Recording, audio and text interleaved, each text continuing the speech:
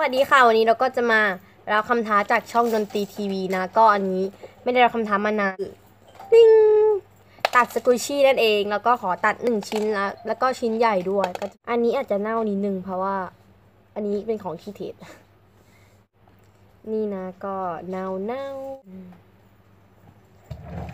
นี่แล้วก็เอาไว้ตรงกลางแล้วเข้าไปเข้าไปอุ๊ย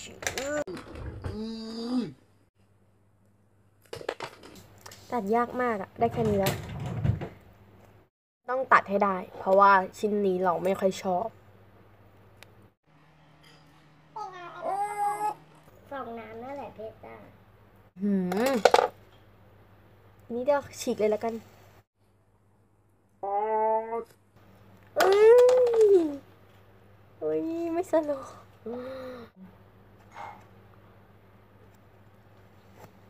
โอ้โหแบบท รมานสกุชิแบบ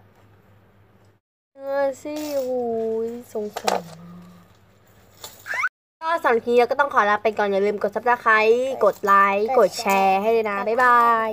ลืมท้าต่อก็ก็ทำก็คือช่องยายาปอมปอม ตะวันไลท์สกุชี่แล้วก็ทุกคนที่อยู่ในกลุ่ม OMG คาวาอิแก๊งนะ ก็สำหรับคลิปนี้ไปแล้วบ๊ายบาย